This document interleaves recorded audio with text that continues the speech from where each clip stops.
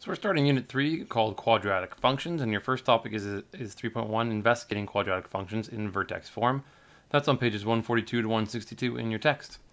Our curriculum objective is to demonstrate understanding of quadratic functions of the form y equals ax squared plus bx plus c and of their graphs, including vertex, domain and range, direction of opening, axis of symmetry, and x and y intercepts.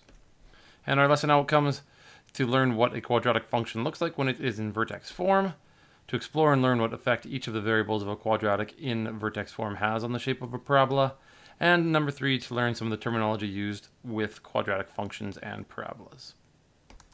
So a quadratic function is said to be in vertex form when it's in the following form, and that's f of x equals a x minus p squared plus q. And f of x is the same thing as saying y, so that's like saying y equals a x minus p squared plus q. So your job is to use graphing software and figure out how A, P, and Q all affect the graph of a quadratic function. We call that a parabola. So your best bet would be using the graphing software that we used last semester at www.desmos.com slash calculator. And there's a direct link to this on my blog.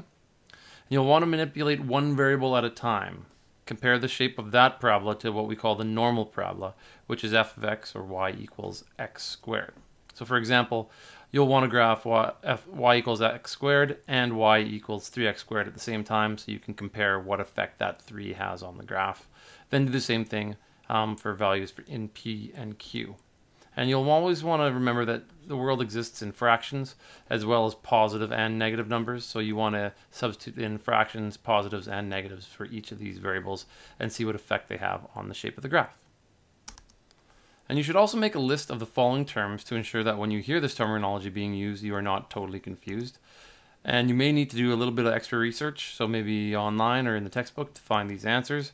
So you want to um, find out what direction of opening means, what vertex means, the equation for the vertex, axis of symmetry, the equation for the axis of symmetry, x-intercept, y-intercept, maximum value, how to actually find the maximum value, minimum value, how to actually find the minimum value, and then what the domain and the range all mean. So there's a lot of terminology you need to figure out. We've talked about it before, but this will be like a nice little refresher for you.